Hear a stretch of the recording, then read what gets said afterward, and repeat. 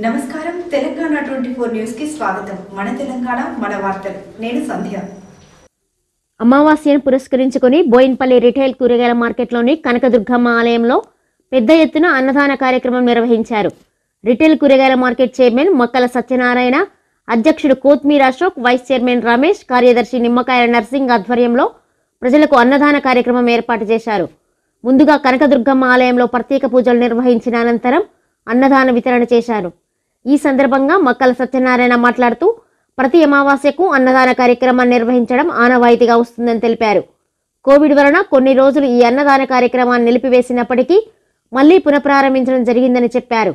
మార్కెట్కు వచ్చే ప్రజలతో పాటు కూరగాయల వ్యాపారాలు చేసుకునే వారందరూ అన్నదానంలో పాల్గొనడం సంతోషంగా ఉందన్నారు.